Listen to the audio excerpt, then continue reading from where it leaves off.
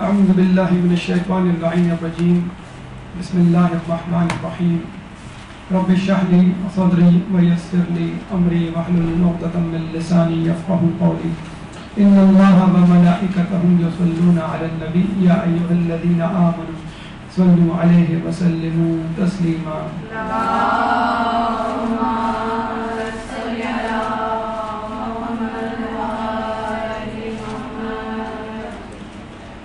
जैसे कि आपको मालूम है कि आज आठ जिलहज है और इन कल नौ जिलहज यानी योम अरफा है और उसके बाद दस हिल, दस जिलहज यकीन दस हिल जिलहज या बकर ईद या ईद अजी हमारे लिए बड़ी अहमियत की हामिल है। लेकिन उससे पहले का दिन यानी नौ जिलहज वाकई बड़ी अहमियत का हामिल है। और रिवायात में आया है कि हज जो है वो योम अरफा है, योम अरफा हज है। योम अरफा के हवाले से यकीनन इस दिन की बड़ी फजीलत है और इस दिन की फजीलत में जो दुआ पढ़ी जाती है दुआ अरफा, उसकी बहुत ज़्यादा फजीलत रिवायात में वारद हुई है। इस दिन के हवाले से फ़कत ये बात, ये रिवायाती वाक़ बतला देना काफ़ी होगा कि इमाम जैन आबदीन सलाम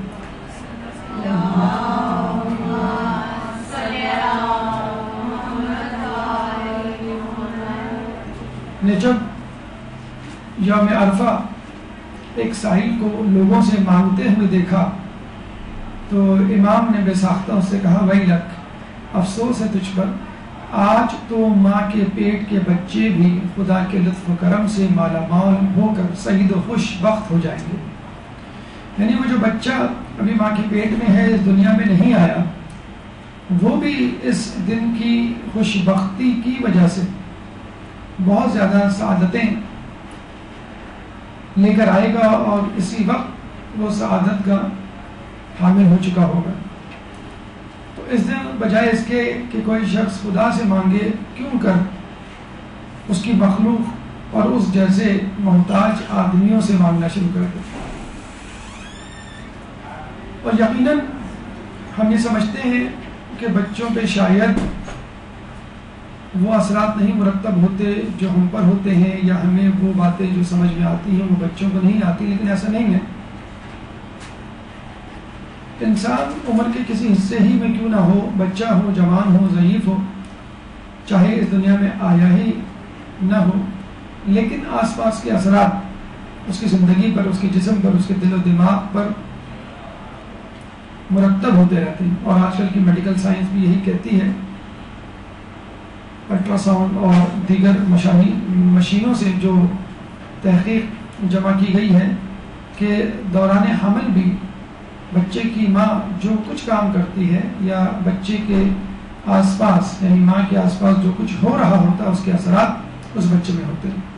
अगर गुनाह हो रहा होगा तो उसके असरात भी उस बच्चे पर आएँगे, यानी मौसी झूठ गिबत बदगोई वगैरह। और अच्छे काम हो रहे होंगे। मसलन नमाज़, तिलावत कुरान, दुआ दुआ और असकार, उसके भी असरात, यानी अच्छे असरात मरतब होंगे। चनाचा कोशिश कीजिए बच्चों को अपने साथ मजालिस ले जाने की, बच्चों को अपने साथ ज़िक्र असकार की महफिलों में ले जाने की और दुआओं में ले जाने की, चाहे वो दुआएँ कहीं ही क्यों ना हो। ताकि इस बहाने बच्चे के अंदर एक तरबियत का पहलू जो है वो उजागर हो। हमारे गाँव में अरफा मुख्तसर आपके सामने हाजिर खिदमत है। उसके बाद इन हम दुआ अरफा की तरफ़ चलेंगे। इस दिन गसल मुस्तहब है। ज़ियात इमाम हुसैन के हवाले से मिलता है कि इसको पढ़ने से हज़ार हज, हज़ार उम्र, हज़ार जिहाद, बल्कि इससे भी ज़्यादा का सवाब हासिल होता है। इस दिन दो रकात नमाज़, जेर आसमान बाद नमाज़ असर पढ़नी मुस्तहब है, जिसमें पहली रकात में सूरत तोहहीद दूसरी रकात में सूर्य काफरू पढ़ी जाती है।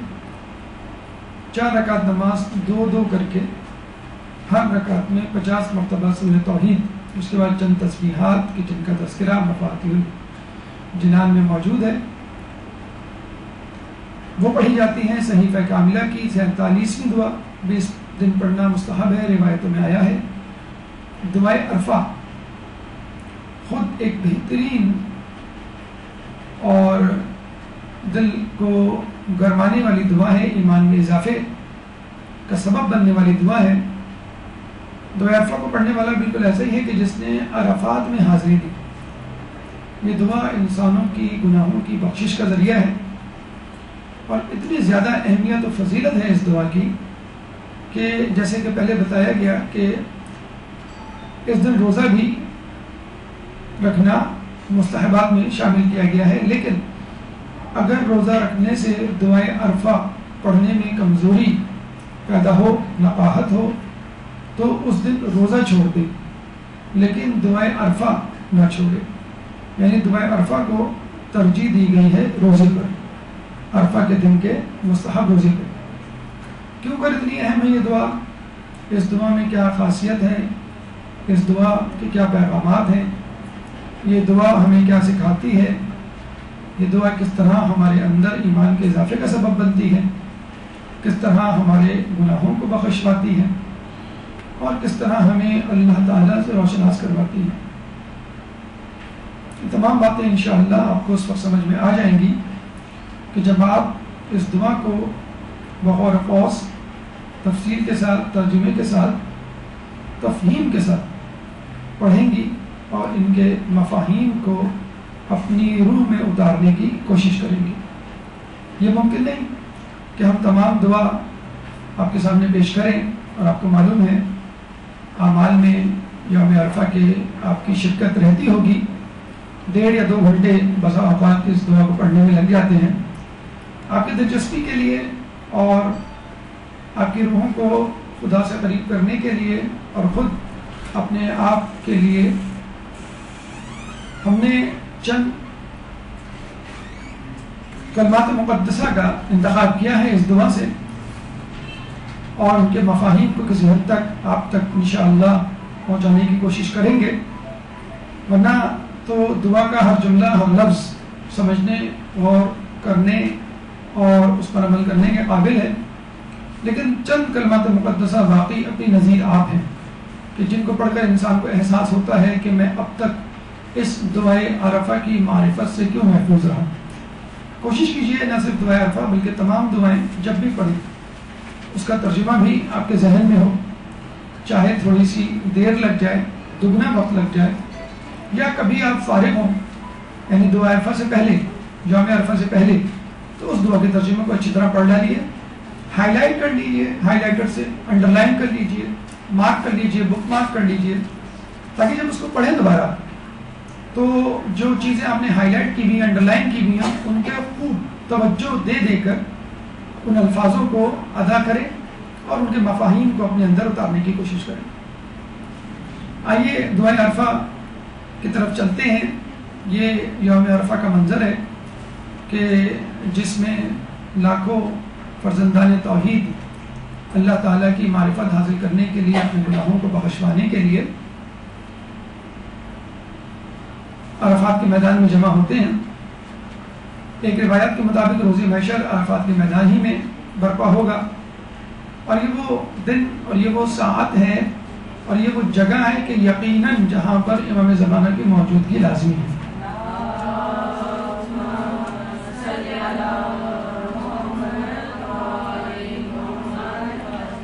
हम किसी भी जगह या वक्त, ज़मान मकान के लिए नहीं कह सकते कि इमाम फला जगह, फला वक्त में मौजूद हैं लेकिन अरफा, अरफात का मैदान और योम अरफा। एक ऐसा ज़मान मकान है कि जिसके बारे में कहा जा सकता है कि इमाम यहाँ पर मौजूद है, क्योंकि इमाम के बगैर हज मुकम्मल नहीं हो सकता। अब आइए इस दुआ की तरफ़ चलते हैं और चंद जुमले आहिस्ता आहिस्ता खूब गौर के साथ अपनी रूह की मुकम्मल तवज्जो के साथ इस दुआ के चंद जुमलात को, चंद कलमात मुकदसा को पढ़ने की समझने की कोशिश करते एक दुरुद पर दीजिए मोहम्मद वाले को।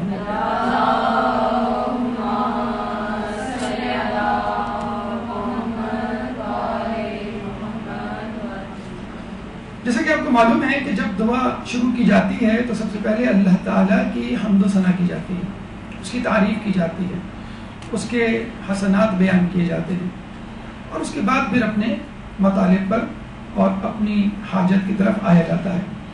और ये दुनियावी लिहाज से भी मांगने का तरीका है कि जिसके पास आप जा रहे हैं, उसकी मार्फत हासिल करें और उसको बतलाएँ कि मैं आपको क्या समझता हूँ और क्या समझ के आपके पास आया हूँ। तो आप मेरे ज़र्फ को ना देखिए, आप अपनी अता को देखिए। आप मेरे मज़हब मकाम को ना देखें, आप अपनी मंजिलत को देखिए। तो हम खुदा की तारीफ़ करते हैं, इमाम की ज़बान से, अल्हम्दुलिल्लाह हम है खुदा के लिए जिसके फैसले को कोई बदलने वाला नहीं। वला माने कोई इसकी अता को रोकने वाला नहीं। पहले जुमले में एक डिप्रेशन, एक नाउमीदी, एक मायूसी की कैफियत पैदा होती है कि हम तो खुदा के लिए जिसके फैसले को कोई बदलने वाला नहीं। जब अल्लाह ताला ने हमारे लिए फैसले कर दिए हैं तो फिर हम दुआ क्यों मांग रहे हैं? दुआ अफा शुरू करने की ज़रूरत ही नहीं है।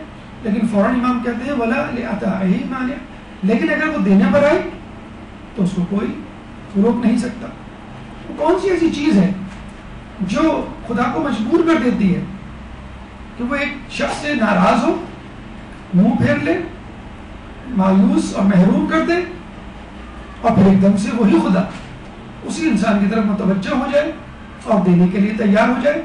और जब वो देने के लिए तैयार हो जाए तो उसको रोकने वाला कोई नहीं।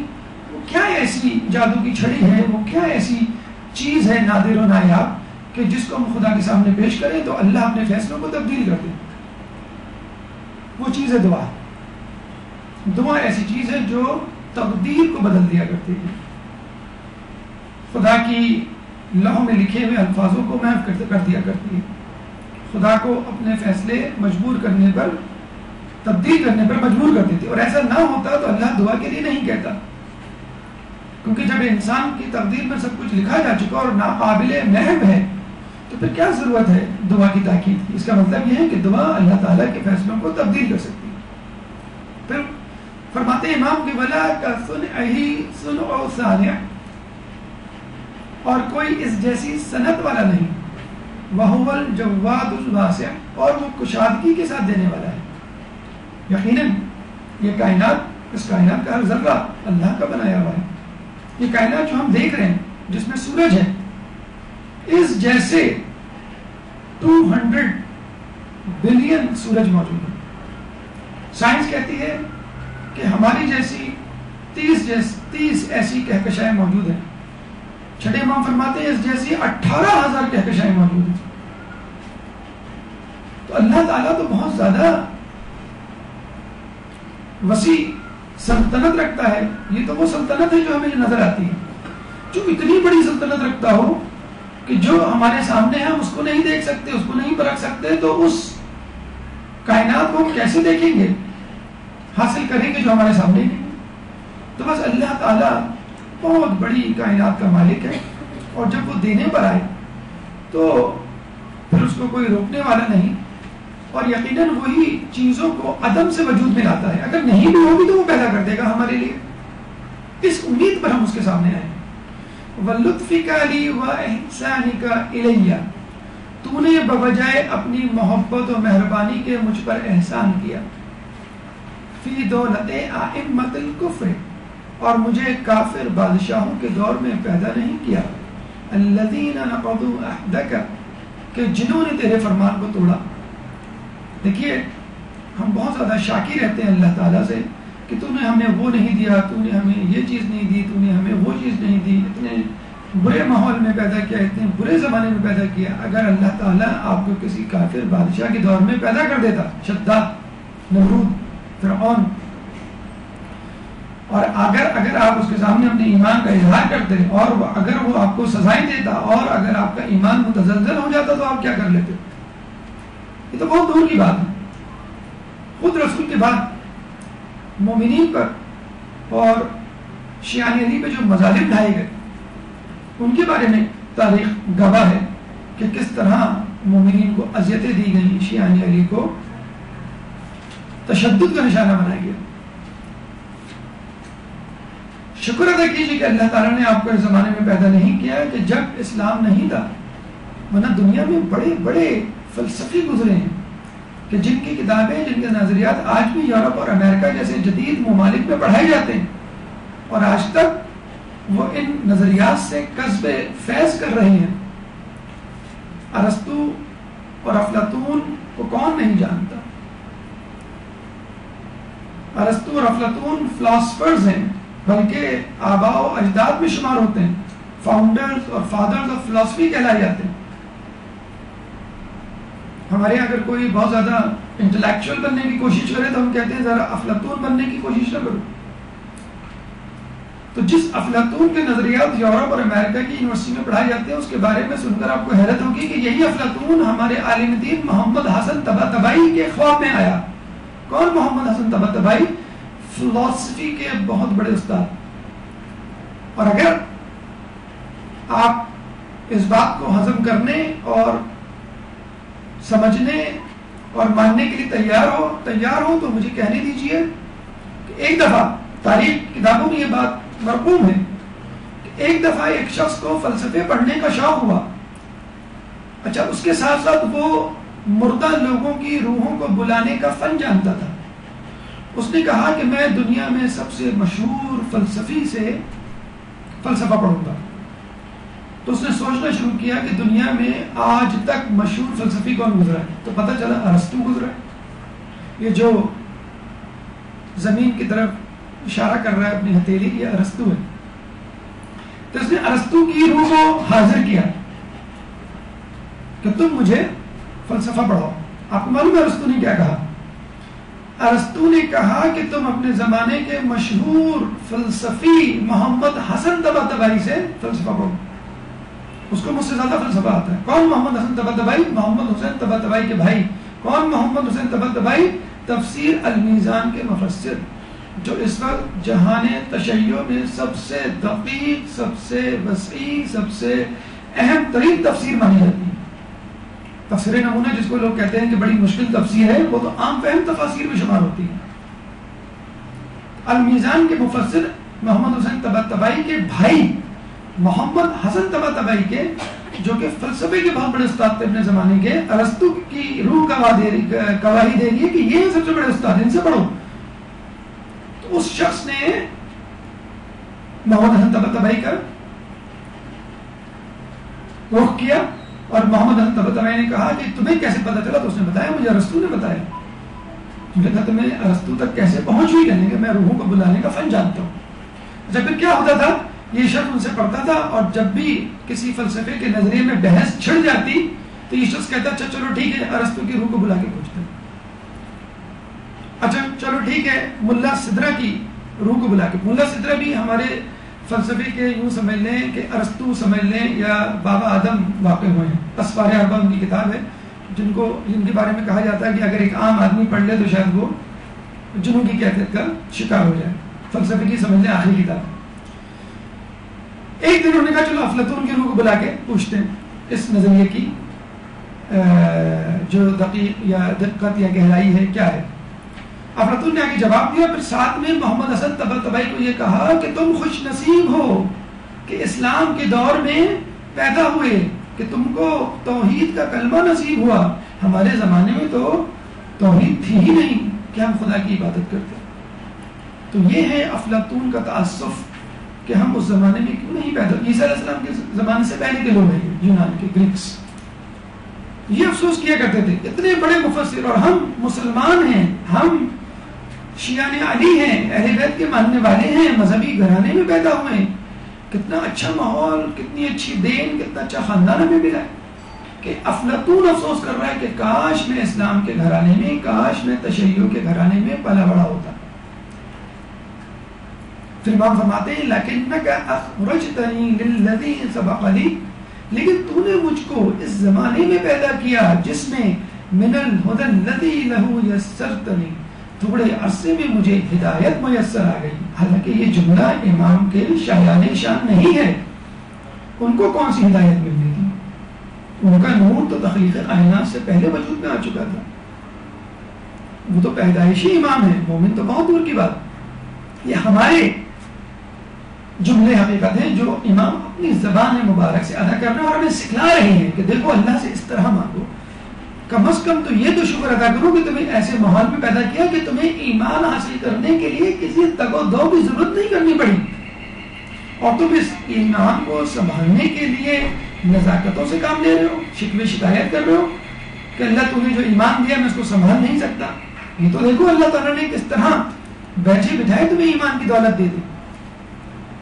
शियान अली पे, सादात पे, बादशाह ने वक्त के जुल्म सितम से किताबें भरी पड़ी हैं।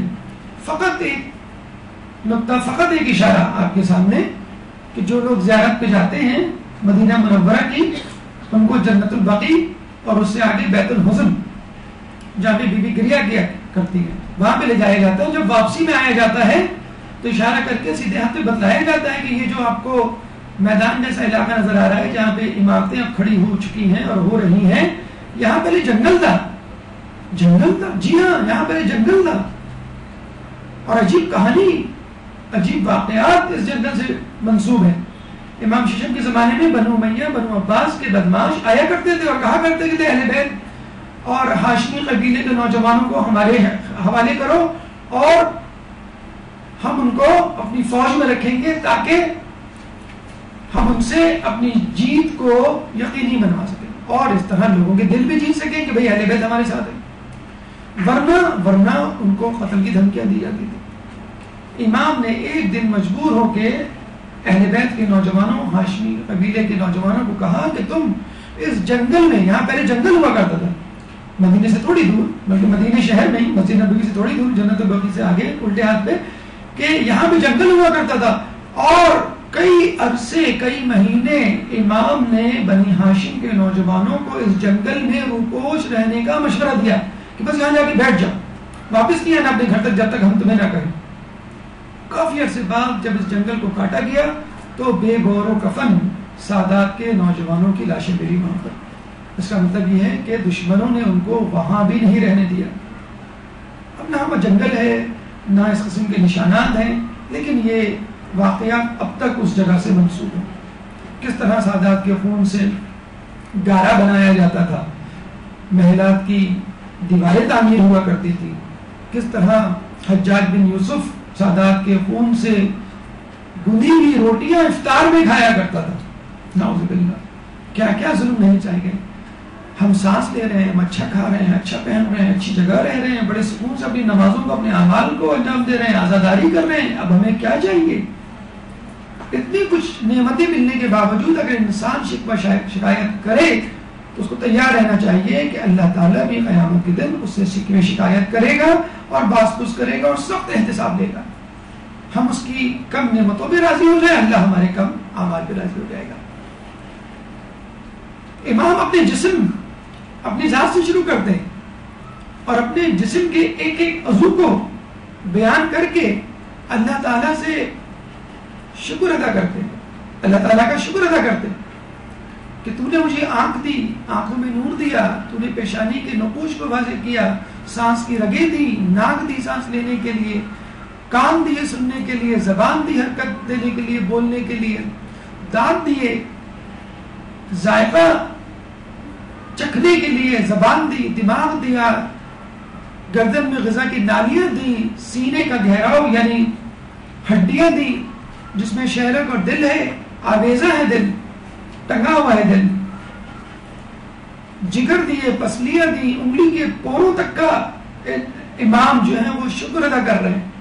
बालों जिल्द पट्टों, हड्डियों हती कि अपने आफाल जो इन आजा से अदा होते हैं। नींद अपने रुकू, अपने सुजूद एक एक नेमत का शुक्र अदा करते हैं फिर भी इमाम कहते हैं कि अगर मैं सदियों को शा रहूँ, उम्र वफा करे तो भी मैं तेरी इन नेमतों में से एक नेमत का शुक्र अदा करने की ताकत नहीं रखता।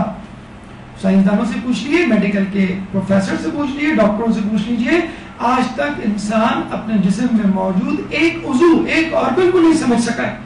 जब वो उस नेमत को समझ ही नहीं सका है तो उसका शुक्रिया कैसे अदा करेगा? और अगर शुक्र अदा करेगा तो किससे अदा करेगा? उस जबान से। जो अल्लाह की दी हुई है, उस मुँह से जो अल्लाह का दिया हुआ है, उस दिल से जो अल्लाह का दिया हुआ है तो यूँ समझ लीजिए शुक्र अदा करने के लिए फिर एक और शुक्र वाजिब हो जाएगा कि अल्लाह तुझे नेमतें दी, शुक्रिया।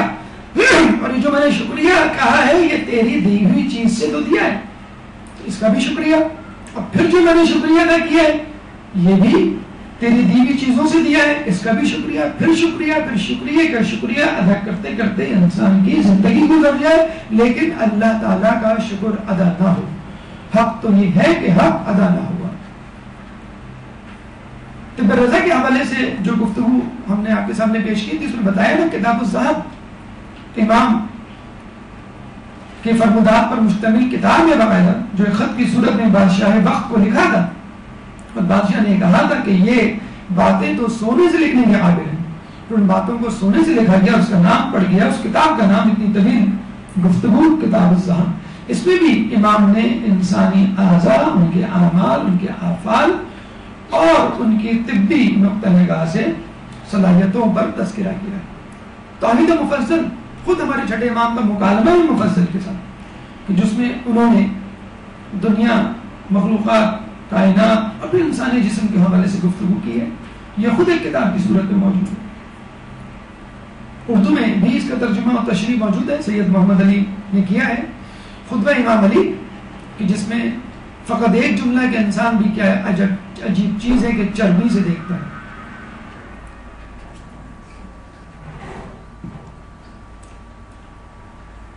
कि मौला अली इंसान के बारे में बता रहे हैं इंसान के अंदर क्या क्या अजायबात छिपे हुए हैं।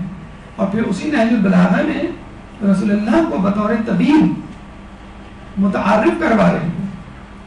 तो आइम्मा का अपनी ज़ात से अल्लाह ताला का शुक्र अदा करना, ये भी एक अजीब अंदाज है कि तुम कायनात को तो बाद में देखो, पहले तुम अगर फ़कत अपने अंदर झाँक के देख लो तो तुम्हें एहसास होगा कि तुम्हारे अंदर कौन कौन सी चीज़ें छिपी हुई है जो तुमको खुद नहीं मालूम कि जिसका तुम्हें शुक्र अदा करना चाहिए। उसके बाद यानी अल्लाह ताला के शुक्र के बाद, अल्लाह ताला की हमदुसना के बाद, जो कि एक अंदाज होना चाहिए गुफ्तगु का, इमाम की आँखों से आँसू रवा हो जाते हैं और तलब हाजात के लिए इन कलमात से खुदा से गोया होते हैं। अल्लाह अक्षा का अन्नी और का ए अल्लाह, मुझे ऐसे डरने वाला, ऐसा डरने वाला बना दे, गोया तुझे देख रहा हूँ। क्या ऐसा नहीं है? क्या ऐसा नहीं होना चाहिए? क्या रिवायात इसकी गवाह नहीं है कि अल्लाह की ऐसी इबादत करो कि जैसे तुम उसको देख रहे हो। आप खुद अंदाज़ा लगा लीजिए कि जब आप अल्लाह ताला को देखते हुए इबादत करेंगे तो आपका क्या हाल होगा? एक और रिवायत में आया कि इबादत ऐसी करो कि गोया तुम उसे देख रहे हो, वरना वो तो तुम्हें देख ही रहा है। अगर ऐसी इबादत नहीं कर सकते कि तुम खुदा को देख रहे हो तो ऐसी इबादत कर लो कि वो तुमको देख रहा है। अगर तुमने इस पर यकीन ना किया तो तुम काफिर हो। किस पर? इस बात पर कि मैं अल्लाह को देख रहा हूँ या अल्लाह मुझे कम अज कम देख रहा है। और अगर यकीन किया मगर गुनाह ना छोड़ा तो तुमने उसे कमतर समझा। दोनों सूरतों में हमारी पकड़ यकीन नहीं, नहीं किया तो हम काफिर हैं। और अगर यकीन कर लिया लेकिन अपने गुनाहों पर मुसर है करते चले जा रहे हैं। आपकी अम्मी आपके अबू आपके सामने आपके कमरे में मौजूद हो और वो आपको कह रहे हो कि ये काम ना करो, लेकिन फिर भी आपको काम कर रहे हैं। अगर वो कमरे में मौजूद नहीं है, आप काम कर रहे हैं, बगावत कर रहे हैं। और अगर वो घर में मौजूद है और फिर भी वही काम कर रहे हैं, उनके सामने कर रहे हैं तो उनकी एहानत कर रहे हैं आप, उनकी तहकीर कर रहे हैं कि मैं आपको अपने से बड़ा नहीं समझता। तो अगर इस बात पे यकीन नहीं है, आपको अल्लाह देख रहा है तो बस आपने तोहिद का इनकार कर दिया, अल्लाह की एक सिफत का इनकार कर दिया। और अगर यकीन कर लिया, लेकिन फिर भी गुना नहीं छोड़े तो इसका मतलब है कि हमने अल्लाह को नाउजबिल्ला अपने से कमतर समझ रखा है। अपने आप को इतना मिडल बना लिया है कि हम तेरी कोई फ़िक्र नहीं करते। हम तुझसे बेनियाज है नाउजबिल्ला फिर हम फरमाते हैं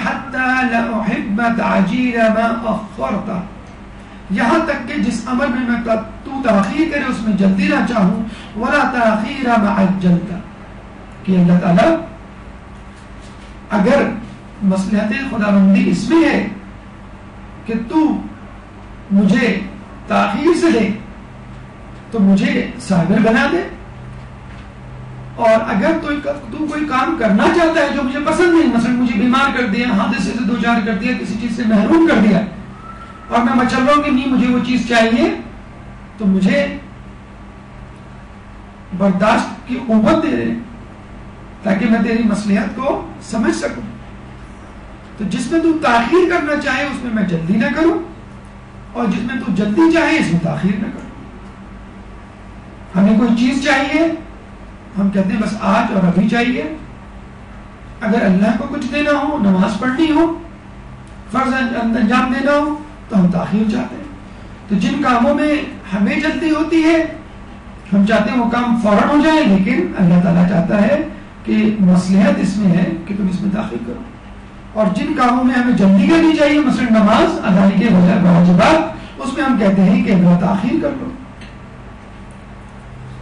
तो इंसान को तकदीर इलाही पर राज़ी रहना चाहिए। हर रंग में राज़ी बरजा हो तो मज़ा देख दुनिया में रहते हुए जन्नत का मज़ा देख बेहतरीन फलसफा है जन्नत हासिल करने का।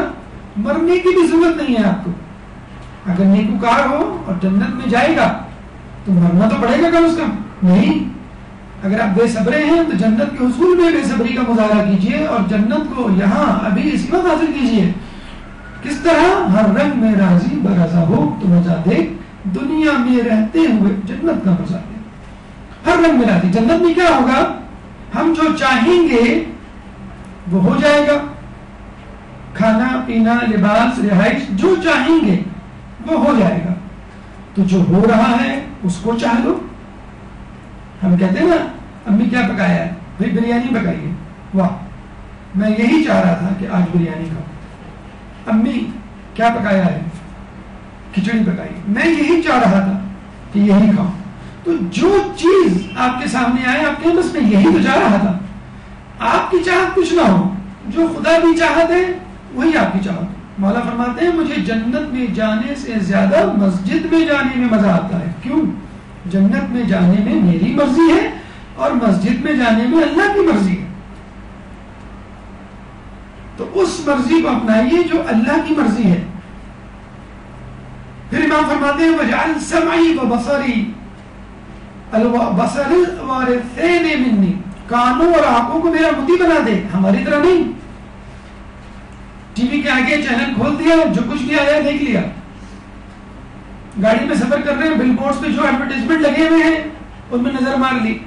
जो सुनाई दे रहा है म्यूज़िक हो गीबत हो, सुन लिया। कोई फिल्ट्रेशन नहीं, कोई सेंसरशिप नहीं, कोई रोकथाम नहीं। हम एक वक्त का खाना खाते हैं तो तफसील में जाते हैं कि इसमें फैट कितनी है, इसमें कैलोरीज कितनी है इसमें शुगर है कि नहीं, इसमें नमक ज़्यादा है या कम है, एक वक्त के खाने में इतनी ज़्यादा नजाकतें और अपने आजाब जवारे को इस्तेमाल करने के लिए कोई नजाकत कि इस काम को करने से मैं कितने गुनाहों में मुबतला हूँ कितनी बड़ी सजा मिलेगी। और अगर फला नेकी कर लूँगा तो मुझे कितना अजर मिलेगा। तो आँखों और कानों पर ना चलिए, इनको लगाम दीजिए और इनको अपनी मर्ज़ी, यानी इतात इलाही इलाही की मर्ज़ी के मुताबिक चलाइए, इस्तेमाल कीजिए। और खुद चौथे इमाम फरमाते हैं कि खुदा की नियमतें खुदा की नाफरमानी में इस्तेमाल ना करो। ये है कम से कम शुक्र। किसी ने पूछा, कम से कम शुक्र क्या है? कम से कम शुक्र ये है कि खुदा की नियमतें उसकी नाफरमानी में इस्तेमाल ना करो। अगर एक शख्स ने आपको कोई तोहफा दिया है ठीक है, आप उसको तोहफा लौटा लौटा नहीं सकते। बहुत बड़ा बड़ा कीमती तोहफा है। ठीक है, हम उसका शुक्र भी नहीं अदा करें, लेकिन खुदारा उस तोहफे को उस तरह इस्तेमाल करो जिस तरह वो चाहता है। मतलब आपको घड़ी दी गई है तो घड़ी का मतलब है वक्त की कदर कीमत। आपको कंप्यूटर दिया गया है, उसको अपनी तालीम के लिए इस्तेमाल कीजिए। इसी तरह अगर खुदा ने नियमतें दी हैं कान नाक, जिसम रूह घर माल, औलाद तो उसको अल्लाह की नाफरमानी में नहीं, उसकी ताब में इस्तेमाल करें। इमाम फरमाते वक़्त कुन हालाँकि तुम मुझे करने, खल्क करने से बेनियाज था। बड़े मज़े से हम कह देते हैं कि अल्लाह ने मुझे पैदा ही क्यों किया? हालाँकि देखा जाए, अल्लाह ने पैदा करके अदम से वजूद बख्शा है। हमें बताइए अदम बेहतर है कि वजूद बेहतर है? अक्सर हम कहते हैं something is better than nothing तो बहुत कुछ होना कितना बेहतर होगा? कुछ ना होने से। ये तो समथिंग की बात हो रही है। Everything is better than nothing ये तो बिल्कुल होगा। आपको क्या बनाया? आपको जमादात नहीं बनाया नबतात नहीं बनाया, हैवानात में से नहीं बनाया, अशरफुल मखलूकत बनाया। अरे, उसको भी छोड़िए। इन्नी जायलुल फिल खलीफा, अपना खलीफा बनाया। उन लोगों से मुमताज़ कर दिया, उन लोगों से बरतर बना दिया, जो हज़ारों, लाखों और पता नहीं कितने सालों से अल्लाह की इबादत कर रहे थे। उस शख्स को नाराज़ कर दिया जिसने चार साल में दो रकात नमाज़ पढ़ी। रामदा दरगाह कर दिया हमारी वजह से शैतान उसके चीलों को अपने दरबार से निकाल दिया हमेशा के लिए। उसके बावजूद भी हम अपने आप को इज़्ज़त देने के लिए तैयार। अल्लाह ने तो हमें इज़्ज़त दे दी अशरफ मखलूक बनाकर। लेकिन अफसोस के साथ कहना पड़ता है कि हम खुद अपने मुकाम को समझने की सलाहियत नहीं रखते, बल्कि छोड़ बैठे। याद रख लीजिए, खुदा को हमारी ज़रूरत नहीं, बल्कि हमें उसकी ज़रूरत ये नमाज़, ये रोज़े, ये हिजाब, ये तकवा, ये शब्बेदारी, ये हज, ये सदकात, ये खैरात, इससे हमें कुछ मिलेगा, खुदा को कुछ नहीं मिलेगा। चौथे इमाम के पास अगर कोई साहिल आता मांगने के लिए तो इमाम उसके हाथ चुम लेते हैं। लोग कहते हैं, आप इसके हाथ चुम रहे देखा जाए तो इमाम की जेब से कुछ जा रहा है। इमाम दे रहे हैं उसको। तो इमाम कहते हैं, मैं इसके हाथ क्यों ना चूमू कि ये वो हाथ है जो मेरा सदका, मेरा पैसा अल्लाह तक पहुंचाएँगे? तो अगर हम अल्लाह को कुछ दे रहे हैं तो यकीनन अपने लिए दे रहे हैं, अपने फ़ायदे के लिए दे रहे हैं। इस दुनियावी फ़ायदे और आखिरी, आखिर फ़ायदे के लिए। इमाम एक अजीब जुमला कहते हैं, वफी नफसी फजल वफी आयुन्नासे फअज़िमनी फअज़िमनी मेरे नफ्स को मेरे सामने जलील बना दे और लोगों की निगाहों में मुझे इज़्ज़त दे दे याद रख लीजिए अपने आप को लोगों से कमतर समझिए लेकिन लोगों के सामने जलील हो गया है अपने नफ्स को जलील बना के रखिए लेकिन लोगों के दरमियान हर इंसान की यह ख्वाहिश होती है कि उसकी एक इज़्ज़त, एक मुकाम, मरतबा मुआरे में रहे। खुद अपने लिए जलील बन गए कि अल्लाह में कुछ नहीं। मैं तेरी मखलूक से कमतर हूँ। लेकिन अल्लाह ताला से दुआ कीजिए कि आपकी इज़्ज़त मुकाम को लोगों में ना खो दे, ना खोने दे। मूसम से अल्लाह ताला ने वही की और कहा मूसा, तुम्हें मालूम है हमने तुम्हें कलाम की फजीलत से क्यों नवाजा यानी कलीमुल्लाह क्यों बनाया? क्योंकि तुम अपने आप को तमाम मखलूफात में अपने अपने आप को सबसे कमतर समझते अपने आप को लोगों से कमतर समझिए, लेकिन अल्लाह से दुआ करते करते रहिए कि मुझे लोगों में जलील ख्वार ना कर।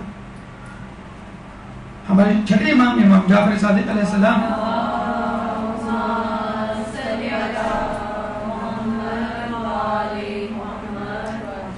एक दफ़ा एक खूबसूरत लिबास जेबतन किए हुए घर से निकले तो एक सूफी, एक जाहिरी तकवे का हामिल शख्स आपके सामने आया और कहने लगा कि आप तो बड़ा अच्छा लिबास, बड़ी अच्छी पोशाक जिरतन की हुई और मुझे देखिए मैं किस तरह फटे पुराने, मुफलिस जदा कपड़ों में, लिबास में मकबूस हूँ।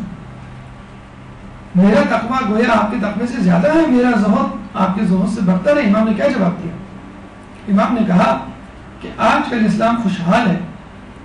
अगर हम ऐसे कपड़े पहने जो हमारे फक्र फाका ज़ाहिर करे तो ये हमारी एहानत का सबब बनेगा। तो अच्छा मुनासिब नहीं हमारे लिए कि हम ऐसा लिबास जबतन करें। फिर इमाम ने अपने लिबास को हटाकर अंदर एक लिबास दिखाया कि जो फटे पुराने कपड़ों पर मुश्तमिल थी। तो इमाम ने कहा कि ये ऊपर का कपड़ा हमने लोगों को बताने के लिए पहना है कि हम काबिल इज़्ज़त लोग हैं और अंदर का कपड़ा मैंने अपने नफ्स को जलील करने के लिए पहना है। कि नफ्स अगर तू अच्छी पोशाक पे तकबर करने लगे तो इस कपड़े को देख ले जो मैंने अंदर पहना फिर इमाम ने उसका कपड़ा हटाया तो उसके अंदर वो बड़ी खूबसूरत पोशाक पहने हुआ था। एक शख्स तूने लोगों को बेवकूफ़ बनाने के लिए जहद का लिबादा उड़ा हुआ है फखर फाखर की हालत बनाई हुई है, और अंदर तूने लिबास फाखरा से तन किया है अपने नफ्स को खुश करने के लिए।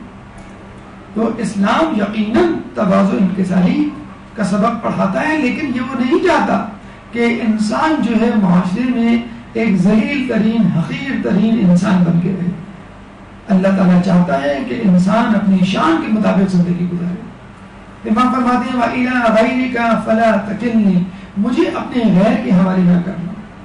देखिए, इंसान मुख्तलिफ़ जहतों, मुख्तलिफ़ हुनरों, हुनर, मुख्तलिफ़ काबिलियतों का मालिक है। और हर इंसान को दूसरे इंसान की ज़रूरत पड़ती है। एक मरीज़ है तो दूसरा डॉक्टर है। एक अमीर है तो दूसरा गरीब है। एक हाजतमंद है तो दूसरा दौलतमंद है। तो इस तरह लोगों की ज़िंदगी एक दूसरे के ताउन से गुजरती रहती है और कारोबार, हयात चलता रहता है। लेकिन अगर इंसान किसी एक शख्स का मोहताज हो जाए, जो बड़ी पस्त तबीयत का मालिक हो, मगरूर हो मतकबर हो, और दीन से दूर हो तो यकीनन वो शख्स अपने से मांगने वाले को, यानी मोहताज को बहुत जलील कर देता है। इस किस्म के लोगों से इमाम ने पनाह मांगी है। यानी ये हमारी दुआ है, जो इमाम की जबानी है, कि अल्लाह मुझे अपने गैर के हवाले नहीं करना और याद कर लीजिए, गैरों में सबसे बड़ा गैर, दुश्मनों में सबसे बड़ा दुश्मन आपका अपना नफ्स है। इलाही ला इला नफ्सी तरफतन ए खुदा, मुझे एक लम्हे के लिए भी अपने नफ्स के हवाले ना करना। सलमा फरमाती हैं कि एक दफ़ा रात में मैं बेदार बेदार हुई तो रसूलुल्लाह को अपने बिस्तर पे नहीं पाया। चुनाचा परेशान हाल, हर जगह ढूंढा, फिर वापस आके हुजरे में अपने बिस्तर पे बैठ गई। कि पता नहीं रसूल कहाँ चले गए तो गौर से देखा तो कमरे के हुजरे के कोने में रसूलुल्लाह सजदे की हालत में गिरिया कर रहे हैं मुसलसल ये दुआ उनकी जबान से निकल रही है, इलाही लतकिलनी इला नफसी तरफ़ आईना ना बदा, ए खुदा, मुझे एक लम्हे के लिए भी अपने नफ्स के हवाले करना। अल्लाह के रसूल का नफ्स तो काको पाकिज़ है हमारे लिए दुआ, हमको बतलाने के लिए कि देखो, नफ्स सबसे गैरों में से सबसे बड़ा गैर, सबसे बुरे दुश्मनों में सबसे बड़ा दुश्मन। चुनाचा कभी भी इस नफ्स को अपने ऊपर गालिब ना आने देना और अपने आप को इस नफ्स के हवाले नहीं करना। एक शख्स खाने काबा का गिलाफ पकड़ के कह रहा है अल्लाह मुझे लोगों से बेनियाज कर दे। इमाम सामने से गुजरे तो उससे कहा कि नहीं, ऐसा ना कहो। हर शख्स किसी न किसी तरह, कभी ना कभी किसी का मोहताज तो होता ही है। ये कहो अल्लाह, मुझे पस्त लोगों से बेनियाज कर जो मेरा मज़ाक उड़ाए, जो मेरी एहानत करें, जो मेरी तहकीर करें, इन कमीना सिफत लोगों से मुझे आज़ाद कर दे, बेनियाज कर दे। उन लोगों का मोहताज न बने। अल्लाह तुम्हें तनी अल्लाह का मुझे मौत न दे जब तू मुझसे नाराज़ हो। यानी अगर हमारी मौत आए तो ऐसी हालत में मौत आए कि अल्लाह हमसे राज़ी हो। इस हालत में नहीं कि अल्लाह हमसे नाराज़ हो। देखिए, और जगहों पे शायद बिस्मिल्लाह या इब्तिदा बड़ी अहमियत रखती है। First impression is the last impression नहीं, हमारे यहाँ last impression is the first impression इब्तिदा कैसी क्यों ना हो? इंसान कभी भी ना पैदा हो। लेकिन अगर उसकी मौत, उसका खात्मा ईमान पर होता है तो जन्नत में जाएगा। और इब्तदा ईमान से हो, लेकिन इंतहा यानी खात्मा, मौत, कुफर पे हो तो वह इंसान अल्लाह की नाराज़गी का सामना करेगा। तो असल चीज़ है, इंसान की मौत किस पर आती है? अल्लाह की रजा पर या अल्लाह के गजब पर? और यही बात कुरान सूर्य आल इमरान 102 में कहता हुआ नज़र आता है, या अय्युहल्लज़ीना आमनुत्तकुल्लाहा हक़्क़ इल्ला मुस्लिमून। ए ईमान ईमान वालों, अल्लाह से इस तरह डरो जो डरने का हक है। और खबरदार, उस वक्त तक ना मरना जब तक मुसलमान ना होगा। वला तमूतुन्ना इल्ला वअंतुम मुस्लिमून। तुमको मौत ना आए, हत्ता कि तुम मुसलमान मरो हक अदा करो उससे डरने का। जिस तरह डरना चाहिए किस तरह डरना चाहिए। ज़िंदगी ऐसे गुजारो, इबादत ऐसे करो कि तुम अल्लाह को देख रहे हो। और अगर तुम उसको नहीं देख सकते तो वो तो तुमको देख ही रहा है। आला दर्जा और कम तरीन दर्जा।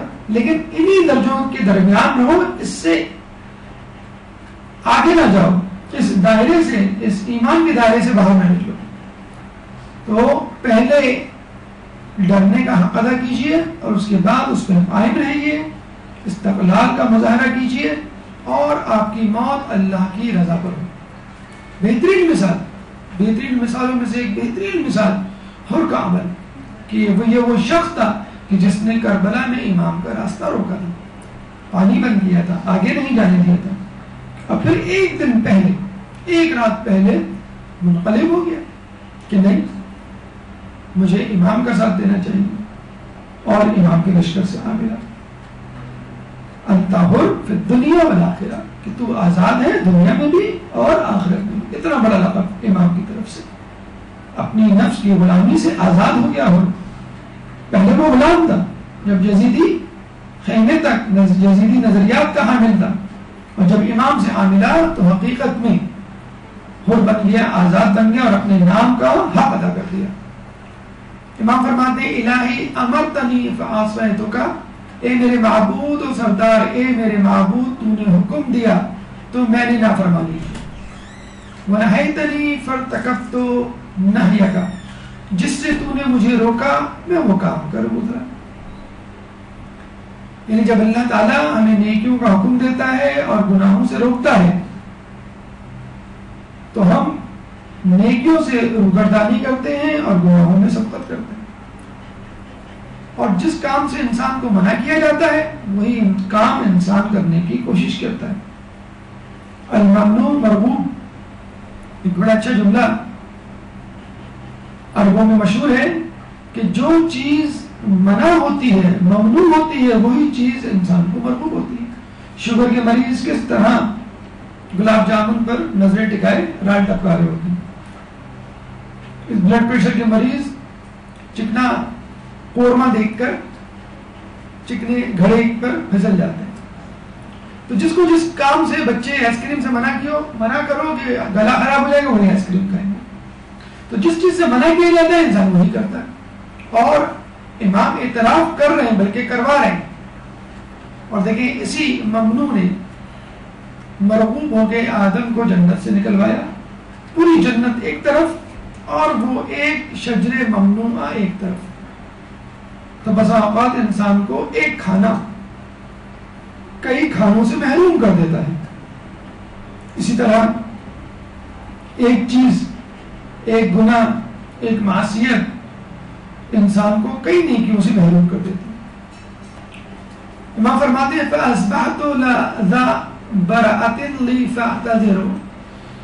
बस हाल ये है कि ना गुनाह से भरी हूँ क्या उजुर करूँ, वला ना ये ताकत है कि कामयाब हो जाऊँ। यानी ना मैं कोई मुनासिब बहाना तेरे सामने पेश कर सकता हूँ, और ना ढिटाई से अपनी मासीत में अपने गुनाह पर कायम रह सकता हूँ कि ठीक है, मैंने किया नाउजुबिल्ला तू क्या कर लेगा। इमाम से किसी ने कहा है कि मुझसे गुनाह नहीं छुपते तो इमाम ने कहा कि बस, चंद बातों में से एक बात यह कही कि तुम अल्लाह की सल्तनत से बाहर निकल जाओ और फिर जाके वहाँ गुना करो। तो हम उसकी सल्तनत से बाहर नहीं निकल सकते, उसकी खुदाई से बाहर नहीं निकल सकते। तो अब मजबूर हमें खुदाई की तरफ़ पलटना है। अगर खुदा की मासीत नाफरमानी की है तो किसी और से माफ़ी नहीं मांगनी है। इसी खुदा से माफ़ी मांगनी और अगर आपने हकीकत में ऐसी तोबा कर ली इस तरह की निदामत का इजहार कर लिया तो रिवायतों में आया है कि बहुत से गुनाह इंसान को बखशवा देते हैं। बहुत से गुनाह इंसान को अल्लाह से करीब कर देते हैं। तो हकीकत में गुनाह नहीं करीब करते, बल्कि गुनाह के बाद जो तौबा होती है, वो इंसान को अल्लाह से करीब कर देता है। इसके बाद इमाम फरमाते हैं या मन सतरनी मिनल आबाई वल उम्महाती अन ए वो खुदा जिसने माँ बाप से मेरी पर्दापोशी की कि वो मुझे धुतकार दे अगर हमारे आमाल हमारी बातें हमारी सीक्रेट्स माँ बाप को पता चल जाए उस नौजवान इस पर तवज्जो दे बच्चे इस बात को सुने कि कितने ऐसे काम हैं कितनी ऐसी बातें हैं जबान से निकालते हैं जो माँ बाप को नहीं पसंद अगर पसंद हो जाए तो पता नहीं वो क्या करे वमिनल अशायर वल इखवान अहले कबीला और भाई बंदों से मेरा पर्दा रखा कि मुझे डांट डपट करेंगे मेरे घर वालों मेरे रिश्तेदारों दोस्त अहबाबों को मेरी बहुत सारी बातें नहीं बताई मेरे बहुत सी गुनाहों से दूर रखा अगर ऐसा होता तो वो मुझे धुलकार देते और हाकमों से मेरा पर्दा रखा कि वो मुझे सजा देंगे ये मेरे बोला अगर हाकिमों को पता चल जाता ऐसी बात जो उनके खिलाफ थी, वो क्या करते आपका? हर इंसान अपने गिरबान में झाँक कर देखे। हर इंसान अपने दिल दिमाग को टटोले, हर इंसान अपने माजी में झांके और ये देखे कि उसने क्या क्या किया। कितने गुनाह थे, जो अल्लाह ने लोगों से छुपा दिए। कितनी नेकियाँ थी जो हमने की ही नहीं। और लोगों में मशहूर हो गई या एक मरतबा की। और लोगों ने कहना शुरू कर दिया, माशाल्लाह, आप तो नमाज़ शब हमेशा अंजाम देने वाले हैं। आपको तो अक्सर मैंने मुस्ताहब रोज़े रखते हुए देखा है। आपको तो फला फला। तो कितनी नेकियाँ हमारी मशहूर हो जाती हैं अल्लाह के सामने। और अगर ऐसा हो जाता, हमारी बातें हमारे वो काम, हमारे वो ऐब, हमारे वो कोताहियाँ जो हम नहीं चाहते लोगों पे आशका हो अगर हो जाती तो क्या होता?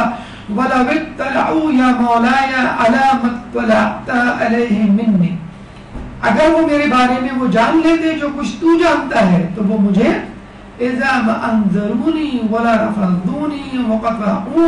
मुझे मोहल्लत ना देते, मुझे छोड़ जाते और अदा ताल्लुक कर लेते।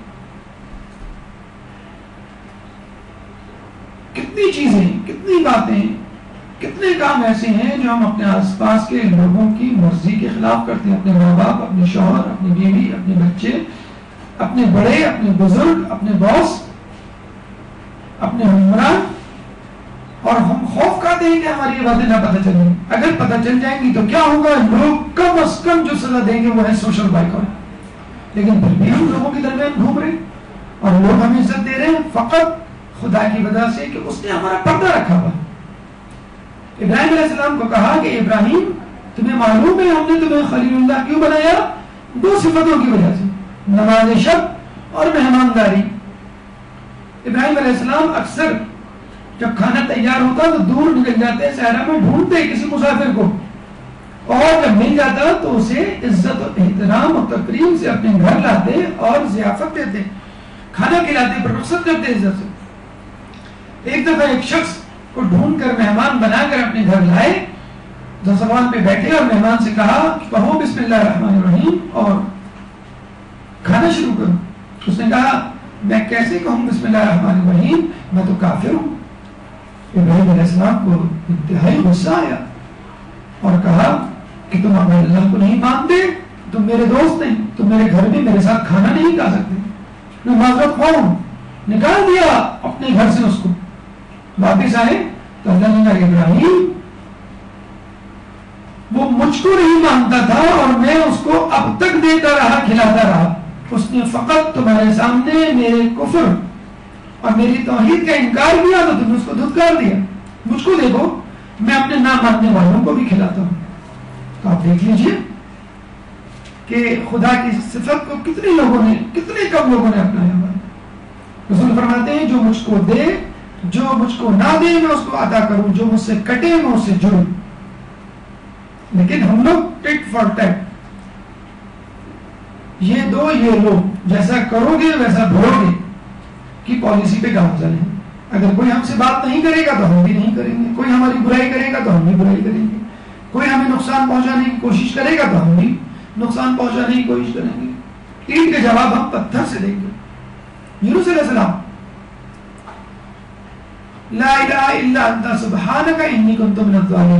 अपनी कौम में तैतीस साल तबलीग की और कहा कि अल्लाह ये नहीं मानते। फकत दो अफराद ईमान लाए।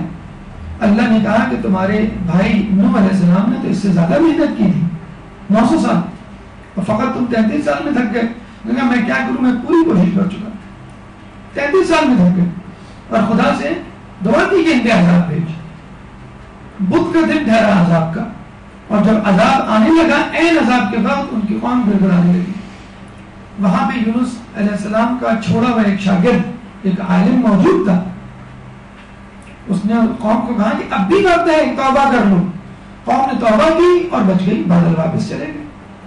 वालिबन वही तो कौम तारीख में हमें मिलती है कि एन अजाब के वक्त तौबा करने से बचा ली गई अजाब से। जब यूनुस आए तो देखा इलाका वैसे ही सशा लोग अपनी ज़िंदगी में बगल शर्मिंदा हो गए कि मेरे सामने, मेरी तोहिन हो जाएगी अगर मैं लोगों में गया मैं तो कह चुका था अजाब आगे रहेगा, कुछ भी कर लो। और फिर वहाँ से गए और इस तौर के औला के सबब यूनुसलाम को मछली के पेट में कई दिन गुजारने पड़े। और जब यूनुसलाम ने ये बिट जबान से जारी किया, ला इलाहा इल्ला तो फिर मछली ने उनको एक सहरा में उगला और हमारा ये हाल है कि अल्लाह ताला सात घंटों तक तो हमारे कंधों के फरिश्तों को खबर नहीं होने देता। आसमान के फरिश्तों और ज़मीन की मखलूक तो बहुत दूर की बात है। हमारे जिसम और रूह में बैठे हुए फरिश्तों को पता नहीं चलता कि हम कौन सा गुनाह कर बैठे। सात घंटे तक लिखा ही नहीं जाता तो मिटाया क्या जाएगा? अगर किसी चीज़ को मिटाया जाए तो शक हो जाता है। कि यहाँ पर कुछ था। अदल का मोल की बिल्कुल अदल का मारवी मैं तेरा इंसाफ तेरा इंसाफ मुझे नाबूद कर देगा और मैं तेरे हर अदल से डरता भागता हूँ। अगर इंसाफ करने पर आए, अल्लाह ताला हर चीज़ का हिसाब ले और हर बुराई को तो तोले।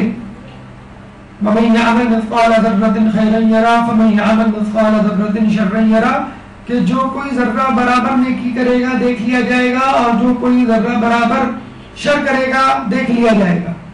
कितनी सख्त आयत है। कुरान की एक एराबी आया उसने कुरान पढ़ने की गुजारिश की सीखने की एक सहाबी को उसके सुपुर्द कर दिया। अल्लाह के रसूल ने जब इस आयत पे पहुँचा तो उसने कहा बस मैं समझ गया। ये कह के चला गया। रसूल ने पूछा सहाबी का क्या उस एराबी का क्या हुआ? तो सहाबी ने जवाब दिया वो तो बर्दाश्त ही नहीं कर सका। इस आयत में आकर रुक गया कह लेगा बस काफ़ी है। तो रसूल ने कहा वो जाहिल आया था फकी बनकर गया है। बहुत पत्ते की बात उसने पकड़ ली।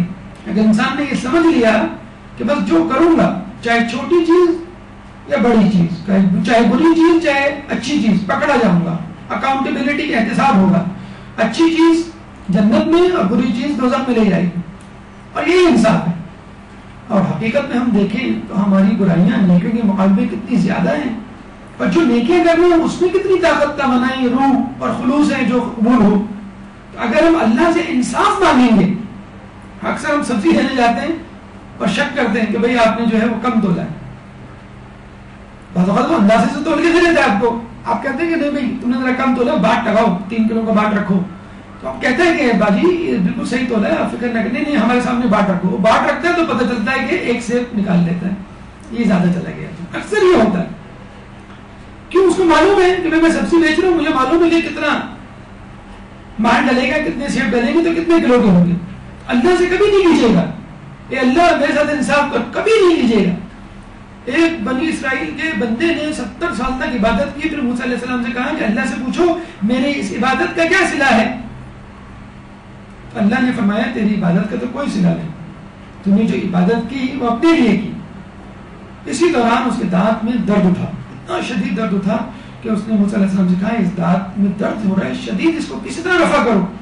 अल्लाह से जब पूछा तो उसने कहा, अल्लाह ने कहा अच्छा इससे पूछ, सत्तर साल के बदले में, सत्तर साल की इबादत के बदले में इसका दर्द खत्म कर दूँ? उसने कहा बिल्कुल, सब कुछ ले लीजिए। अल्लाह ताला ने दर्द खत्म कर दिया कहेंगे अब बता, तेरे पास क्या है? जहन्नम से बचने के लिए और जन्नत में जाने के लिए। एक बीमारी से बचने के लिए हम सब कुछ देने के लिए तैयार है। हमारे पास है क्या? जान जान दी हुई उसकी थी हक तो ये है कि हक अदा ना हुआ। जान भी दे देंगे तो हम कहेंगे, हक अदा ना हुआ। फ़इन तुअज़्ज़िबनी या इलाही फबिज़ुनूबी बाद हुज्जतिका अलैया।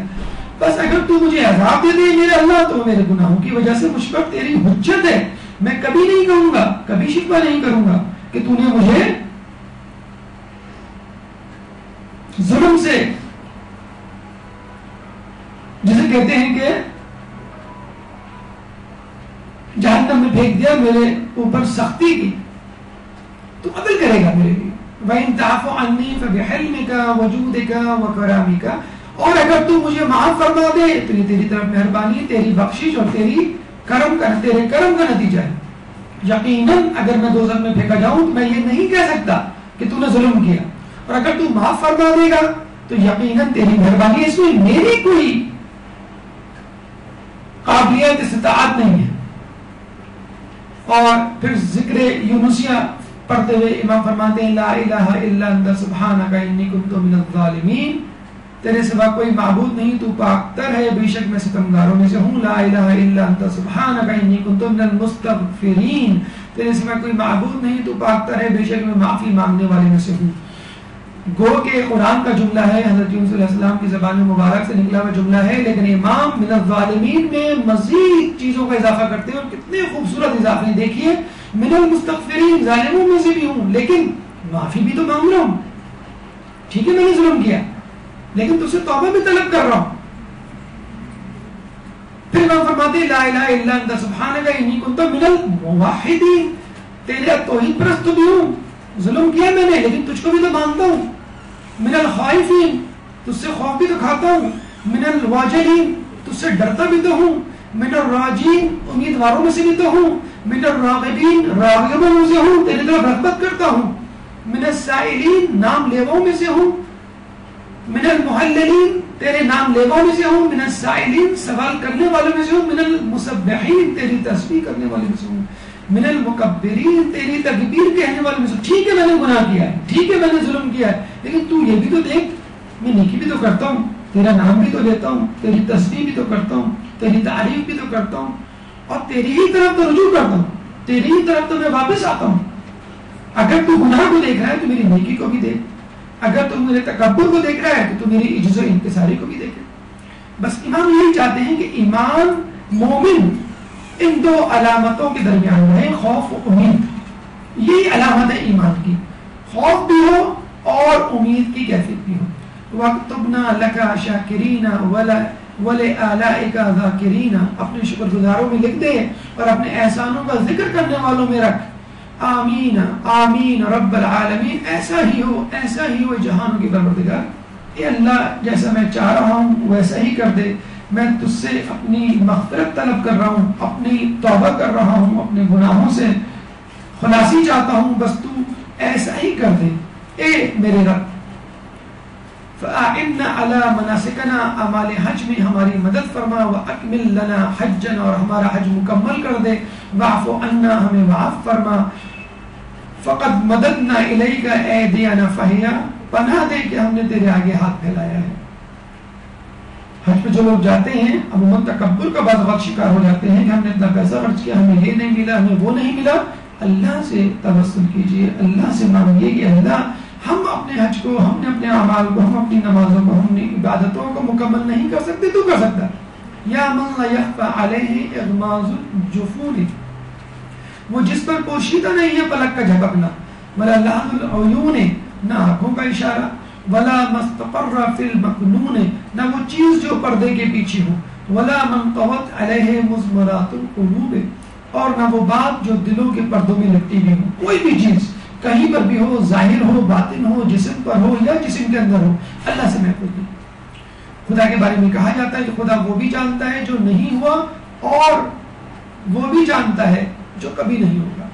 वो आते को वो आते रकाबती मिनन्नार और मेरी गर्दन को जहन्नम की आग से आज़ाद कर दे। अल्लाह तनकुर भी अल्लाह मुझे गलत फहमी में ना रख। वला तस रिच और मुझे धोखे में न रख। बोला दान और मुझे फरीब ना दे। अक्सर हम जिद करते हैं, अपनी अम्मी मुझसे अम्मी ये चीज़ ला दे, अम्मी कहती है ठीक है बेटा, ला देंगे, कर। अम्मी देखिए आप वादा करें, आप भूलेंगे, आप ऐसे ही तो नहीं कह रहे हमें टालने के लिए तो ये नहीं कह रहे। अब्बू से हम चीज़ लाने का कहते हैं, और क्या ठीक है बेटा, हम ला देंगे। तो अल्लाह से भी इसी तरह जिद करके मांगे कि अल्लाह तू हमें बना तो नहीं रहा। ये तो नहीं कि हम यहाँ से चले जाए इस उम्मीद पे कि हाँ तू हमें माफ़ कर देगा। बाद में पता चला कि तूने हमें माफ़ नहीं किया। इसके बाद इमाम सर को आसमान की तरफ़ बुलंद करते हैं और आंसुओं में इस दुआ को, इस आवाज़ को मजीद बुलंद करते हुए फरमाते हैं। क्या फरमाते हैं? इसका तस्करा इंशाल्लाह पाँच मिनट के बाद आपके सामने किया जाएगा। एक वक्फा का बकिया हिस्सा गोया के खुद दुआ अरफा काफ़ी तवील दुआ है लेकिन आ, हमने उसके कुछ मुंतब कलमात मुकदसा को आपके सामने पेश करने और तफसील तशरी करने की मरहूम सी कोशिश की है। अल्लाह हमारी इस कोशिश को कामयाब करे और हम सबको इसकी मारिफत अदा फरमाए।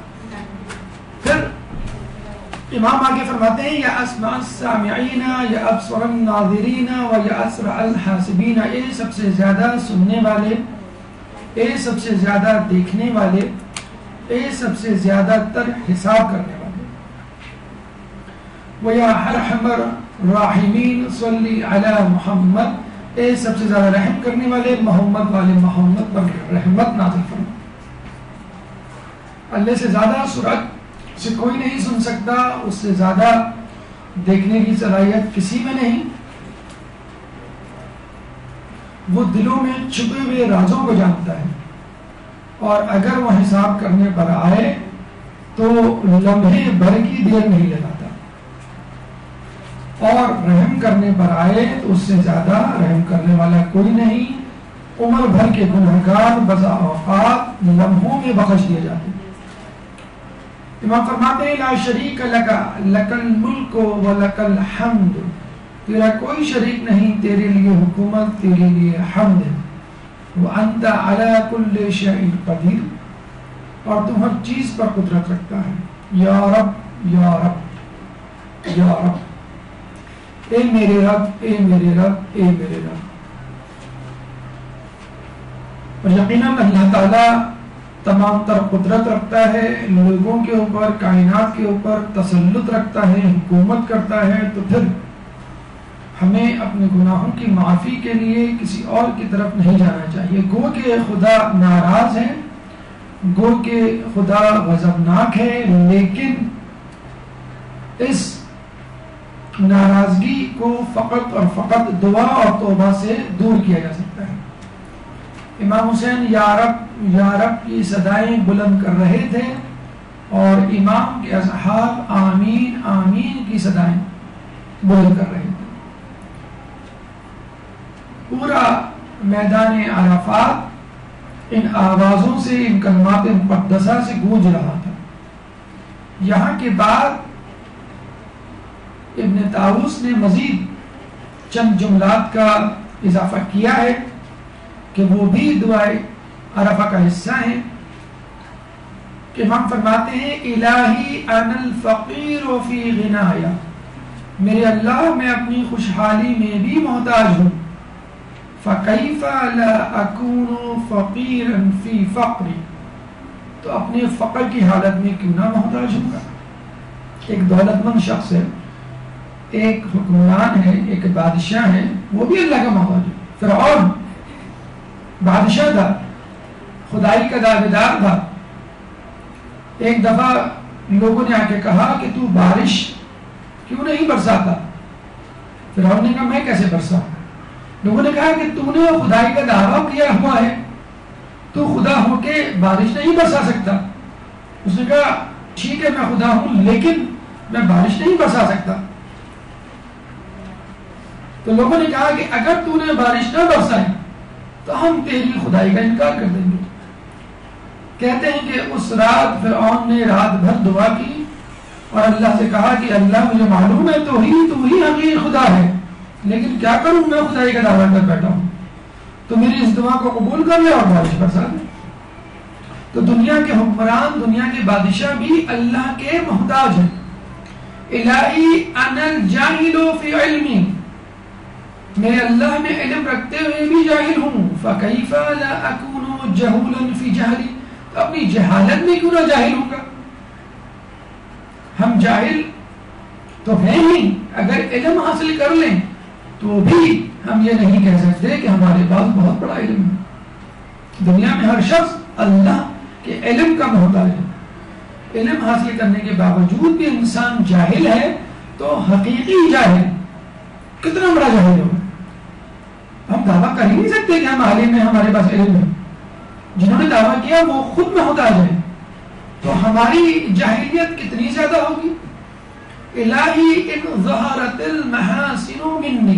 मेरे अल्लाह, अगर मुझसे नेकियाँ ज़ाहिर हुई ये तेरा फजल है और मुझ पर ये तेरा एहसान है। इन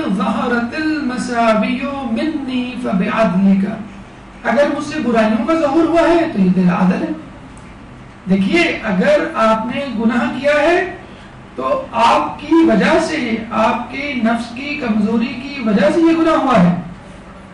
अल्लाह का ये आदल है कि इंसान इंसान को वही कुछ मिलता है कि जिसकी वो कोशिश करता है। तुमने गुनाह की कोशिश की, गुनाह हो गया, नेकी करने की कोशिश करती तो निकाह हो जा, नेकी हो जाती तो यकीनन ये अल्लाह का अदल है। और अगर आपसे नेकियाँ सरजद हो रही हैं तो ये अल्लाह की तौफीक है, जिसकी वजह से आपको अल्लाह ताला ने नेकी की तरफ़ रागब किया है।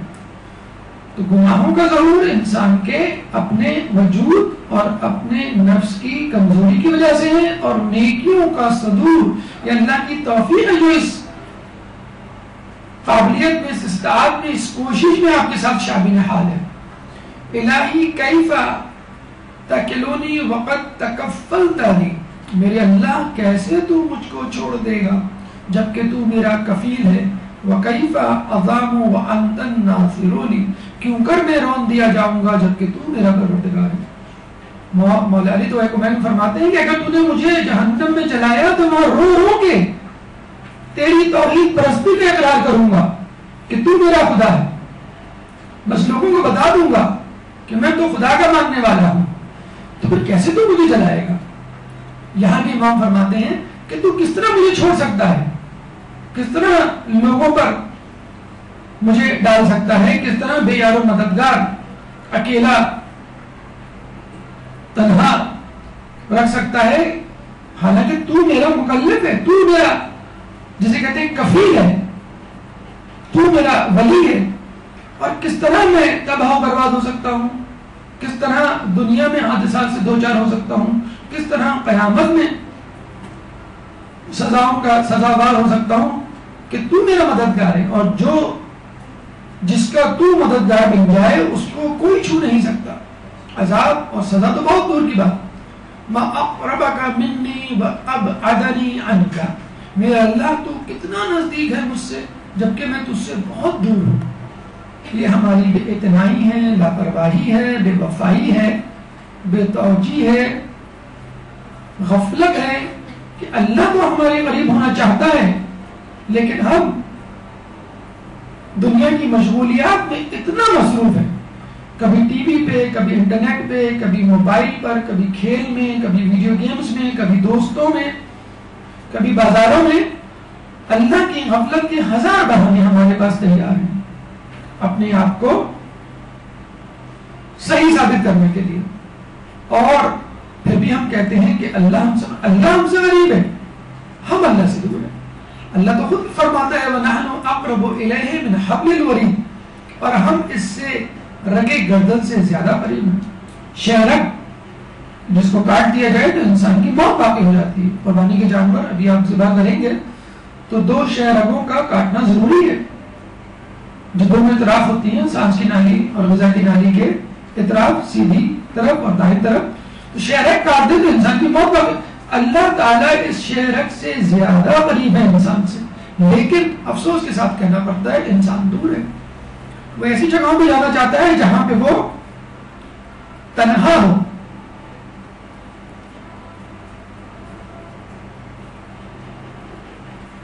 जहाँ पे वो गुनाह कर सके, खुदा की सल्तनत से बाहर जा सके। लेकिन अल्लाह फरमाता है वह हुआ माकुम आईना मकुम तुम? वल्लाहु बिमा बसीर। और वो तुम्हारे साथ है, तुम जहाँ भी रहो, और वो तुम्हारे आमाल का देखने वाला है।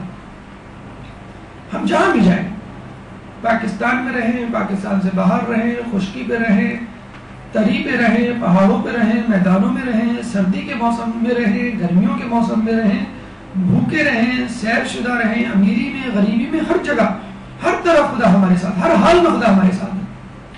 मन कानत महासिन मसाविया, मेरे अल्लाह, जिस शख्स की खूबियाँ भी बुराइयाँ हो, फ़कैफ़ा ला तकूनु मसावियहु मसाविया तो उसकी बुराइयाँ क्यों ना बुराइयाँ शुमार की जाएँगी? हमारी नमाजें, हमारे रोज़े, हमारे हज, हमारे सदकात, हमारी इबादतें क्या रियाकारी से मुजयन नहीं? हम दावा कर सकते किसी ऐसी इबादत का? कि जिसमें सौ फ़ीसद खलूस हो, जो सौ फ़ीसद अल्लाह के लिए हो तो जब हमारी इबादतें खुद बुराई बन जाए तो खुद बुराइयाँ कितनी बड़ी बुराइयाँ शुमार होंगी। तो जो इबादतें हम करते हैं, वो इबादतें रियाकारी और नफ्स परस्ती का शिकार है। तो हमारी बुराइयाँ क्यों कर? हमारे लिए तबाही का सामान ना बने। वमन कानत हाका दाविया जिस शख्स की हकीकत ही महज खोखली बातें हों तकूनो दावा हो तो उसकी खाली खूली बातें क्यों ना महज बातें तस्वुर की जाए? जो हकीकत है उसकी, वही उसकी खोखली बातें हैं। पस्ती और कमीनगी और तनजुली की अलामत है, और जब वो तनजुली पस्ती, कमीनगी पे उतर आए तो फिर वो कितना जलील वाक़ होगा? अगर हम अपनी खूबी में, अपनी बड़ाई में कुछ भी नहीं है तो जब हम कमतर होंगे, पस्ती का शिकार होंगे तो फिर कितनी तहकीर आनेज हालत होगी। और हकीकत में हमारी इबादत हमारे लिए है, ना कि खुदा के लिए। अगर हम इबादत भी करते हैं, अगर हम दुआ भी मांगते हैं तो सबसे पहले अपनी सेहत के लिए, अपनी दौलत के लिए, अपने जाहो जलाल के लिए, अपने किसी दुनियावी काम के लिए। और जब वो काम हो जाता है तो हमें अक्सर अपनी मन्नतें और नज़र भी याद नहीं रहती। मन्नत मांगने से पहले अल्लाह की मिन्नतें करते हैं। और जब वो अल्लाह हमारी मिन्नतों के आगे अपनी, अपने खजानों के दरवाजे खोल देता है तो हम अपनी मन्नत भूल जाते हैं। माँ फरमाते, इलाही कब मिन तातिन बनी तो मेरे अल्लाह, कितनी ही बार मैंने इतात करते हुए इबादत की शक्ल बनाई है। वह हालतिन शैयत हदमादी अदल का मगर तेरे अदल के खौफ से इस पर मेरा भरोसा न रहा। बल अकालनी मिनहा फजल का बल्कि वो तेरे फजल से मेरी बख्शिश का ज़रिया बनी। देखिए, आपने देखा होगा कि बसा आपने कोई टेस्ट दिया, आपने इम्तिहान दिया, और आपको ये यकीन था क्योंकि मेरी तैयारी नहीं हुई। चनाचा, मैं पास नहीं हो सकता। फिर एकदम से पता चलता है कि आप पास हो गए। तो लोग यकीन कहते हैं कि भाई, आपका कोई ना कोई जानने वाला होगा, जिसकी वजह से आप पास हुए। और पता चलता है कि वाकई एक जान पहचान के शख्स ने आपको पास करवा दिया।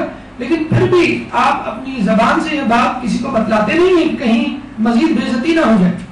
तो जब हम इबादत करते हैं, इबादत की शक्ल बनाने की कोशिश करते हैं, और हकीकत में इबादत का अदा नहीं होता, अक्सर अदा नहीं होता तो हमें खौफ रहता है कि कहीं ये हमारी इबादत जाया ना हो जाए। लेकिन बाद में पता चलता, अरे, अल्लाह ने मेरी नमाजें कबूल कर ली। अरे, अल्लाह ने मेरे रोज़े कबूल कर लिए और मुझे बख्श दिया। हालाँकि मैं इस काबिल तो नहीं था। कहते हैं कि जन्नत में कोई शख्स भी अपनी नेकियों के सबब नहीं, बल्कि अल्लाह के फजल के सबब दाखिल होगा। और अल्लाह फरमाता है, क्यों ऐसा है? वल्लदीन जाहदू फीना लनहदियन्नहुम सुबुलना। के जो लोग हमारी राह में जद्दोजहद करेंगे, हम उनको रास्ता देंगे।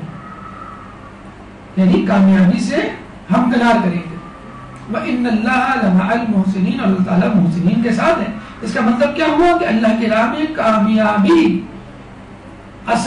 में कोशिश असल हदफ है। अगर हमने कोशिश कर ली पूरे खुलूस के साथ, कामयाबी मिले या ना मिले तो हम कामयाब हो जाएँगे। अगरचा मैं इबादत में मुस्तकिल मशगूल नहीं हूँ फ़कत दामत महब्बतन व अज़मा। तू भी तो भी तुझसे मेरी मोहब्बत हमेशा रह सके। देखिए, ये एक बहाना है। उन लोगों के लिए कि जो इबादत के अलावा दूसरे कामों में मशहूर रहते ये हमारी तरफ़ से एक बहाना। देखा जाए तो इमाम ने तराशा है। हम टीवी पे, फ़ोन पे, खेलों में दोस्तों के साथ मसरूफ रहते हैं। अब इबादत करते हैं। और कहते हैं कि हम अल्लाह की मोहब्बत के हामिल अफराद हैं। बेटे, दूसरे मुल्क सुधार जाते हैं और उनके माँ बाप फ़ोन करते हैं कि बेटा, तुम हमें भूल गए। कई दिनों से फ़ोन नहीं किया, कोई खैर खबर नहीं। तो बेटा कहता है कि, अम्मी, आपकी नसीहतें आपके मशवरे, आपकी मोहब्बत मेरे साथ साथ मैं कभी भूला नहीं, बस मसरूफियत कुछ ऐसी है। बेटियों की शादियाँ हो जाती हैं, वो अपने घर चली जाती हैं। अम्मी के फ़ोन आते हैं कि तुम तो हमें भूल गई शादी के बाद। तो वो कहती हैं कि क्या करें, ससुराल में काफ़ी मसरूफियत रहती है, लेकिन कर ना करें। आपने जो नसीहतें, जो मशवरे मुझे दिए थे, वो मुझे याद है और उनके मुताबिक मैं ज़िंदगी गुजार रही हूँ। तो इंसान ये कहता हुआ नज़र आता है कि अल्लाह, मैं तेरी इबादत बहुत तो नहीं कर पाता क्योंकि दुनिया की मशगूलियत ज़्यादा हैं, लेकिन मैं तुझे भूला तो नहीं। अभी पाँचवें इमाम की शहादत गुजरी है, सात जिलहज को इमाम मोहम्मद बाकर सलाम के बारे में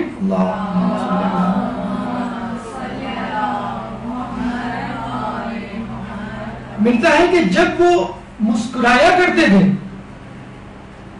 तो अक्सर ये जुमला, बल्कि फ़ौरन ये जुमला कहा करते थे अल्लाह अल्लाह, मुझसे नाराज़ ना हो। मैं हंस दिया, दुनियावी बात में मशगूल हो गया इसका मतलब ये नहीं कि मैं तुझे भूल गया। तो तू भी मुझे ना भूल। इसका मतलब ये नहीं कि मैं तुझे नाराज़ करना चाहता हूँ। तू भी मुझसे नाराज़ ना हो। तो अगर आप दुनियावी कामों में मशगूल हो तो भी ये जुमला गर्द जबान रहे अल्लाह अपनी अल्लाह मुझे ना छोड़, मुझसे नाराज़ ना हो। जिस तरह पाँचवें इमाम फरमाते हैं कि अगर मैं दुनिया में मशगूल भी हो जाऊँ तो मेरी मोहब्बत तेरे साथ है। तेरी मोहब्बत मेरे साथ है। मैं तेरा नाम लेता रहूँगा तस्वीर करता रहूँगा, लेकिन तू मुझसे नाराज़ हो।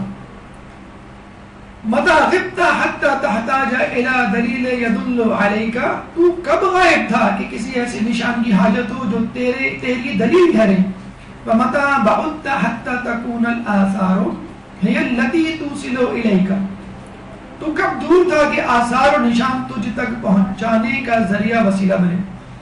हम दलाइल से खुदा को साबित करते हैं। हम खुदा के वजूद की निशानियाँ तलाश करते हैं और साबित करने की कोशिश करते हैं कि अल्लाह मौजूद है। इमाम कहते हैं कि अल्लाह को किसी दलील की ज़रूरत ही क्या है? एक आलिम दीन तोरीफ पर किताबें लिखकर मदरसे ले जा रहे थे तो उनकी सात साल बच्ची ने पूछा, ये क्या है? तो उन्होंने कहा कि खुदा के वजूद पर दलाइल पर मुश्तमिल किताबें हैं। तो सात साल बच्ची ने कहा कि क्या खुदा को मानने के लिए किसी दलील की ज़रूरत है? तो इमाम फरमाते हैं कि खुदा गायब तो नहीं, कि हमें किसी निशानी की ज़रूरत पड़े। खुदा दूर तो नहीं, कि हमें उसके लिए किसी आसार की ज़रूरत पड़े।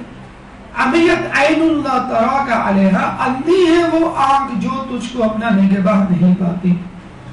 अगर आप खुदा को नहीं देख सकते, खुदा को हाजिर और नाजिर नहीं जान सकते तो समझ लीजिए खुदा तो मौजूद है।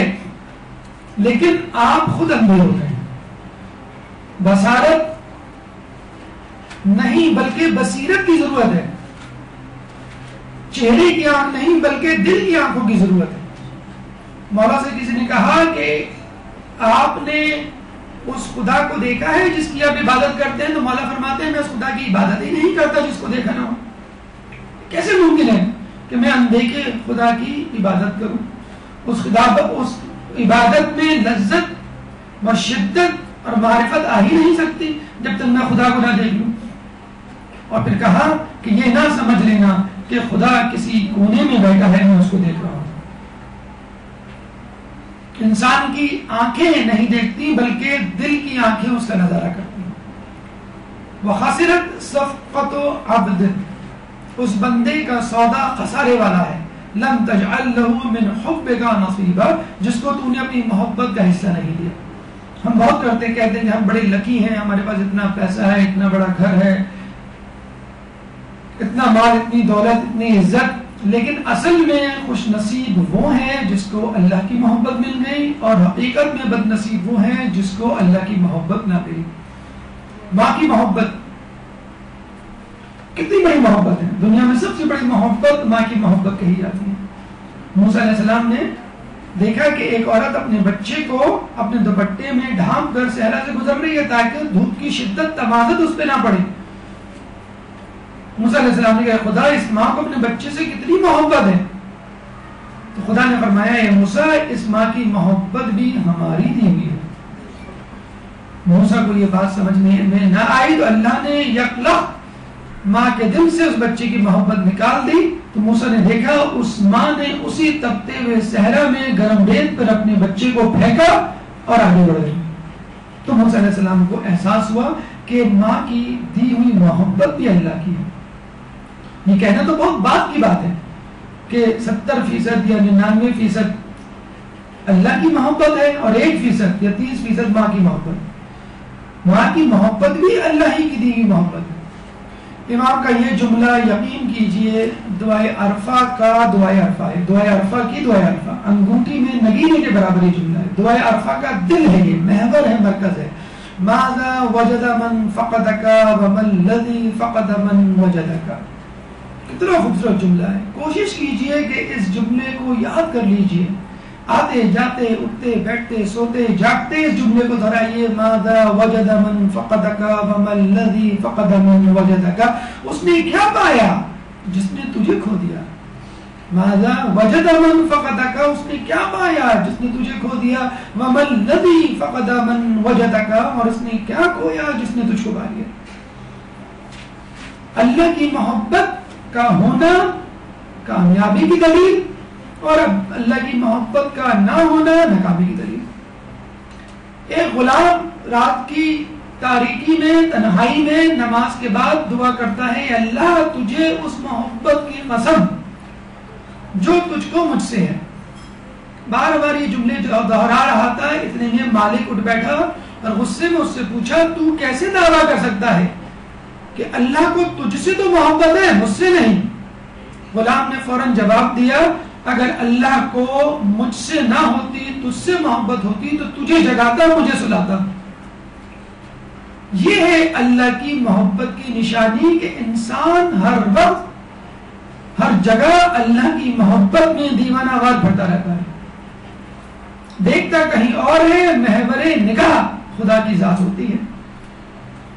सोता है तो जाग के बैठ जाता है, खाता है तो निवाले छोड़ बैठता है। लोगों से मिलता है तो खुदा की याद में खो जाता है, माजा वजद मन फ़क़दका वमल्लज़ी फ़क़द मन वजदका। उसने क्या पाया जिसने तुझे खो दिया और उसने क्या खोया जिसने तुझको पा लिया? अजीब जुमला है इमाम का, या मन वो जो अपने दोस्तों को उल्फत की मिठास चखाता है चखाता है फ़कामू बैना यदह मुता मल्लकीना बस वो उसके हुजूर तारीफ़ करते खड़े हो जाते हैं। अल्लाह ताला दोस्ती का हक अदा करते हुए हमको अपनी दोस्ती का मज़ा चकाता है। और जब हमें उसका फ़ायदा, उसकी लज्जत, उसकी नहमतों से बहरावरी होती है तो हम उसकी तारीफ़ करते हैं। लेकिन अल्लाह की दोस्ती बड़ी अजीब है। अगर अल्लाह एक तरफ़ अपने दोस्तों को अपनी दोस्ती की मिठास अपनी उल्फत की मिठास का मज़ा चकाता है तो वही अल्लाह। औलिया अबू मलाबिसा हैबते। ही ए, वो जो अपने दोस्तों को अपनी हैबत का लिबास पहनाता है, फकामू बैना यदह मुस्तगफिरीना। तो वो उसके सामने खड़े हो जाते हैं बख्शिश मांगने। उन्हीं दोस्तों को जब वो हैबत का लिबास पहनाता है, डराता है तो वो गड़गड़ाने और थरथराने लगते हैं। ये वो दोस्त नहीं, फकत जो आपको अपनी मोहब्बत की मिठास दे। अगर नाराज़ होने पर आए तो फिर वो आपको अपनी सजा का मज़ा भी चका सकता है। तो अल्लाह से मोहब्बत की बुनियाद पर उम्मीद भी रखनी है और सजा की बुनियाद पर उसका खौफ भी रखना है। इलाही कैफा मेरे अल्लाह कैसे इज़्ज़त का दावा करूँ, जबकि उस इस ख्वारी में तूने मुझे याद किया।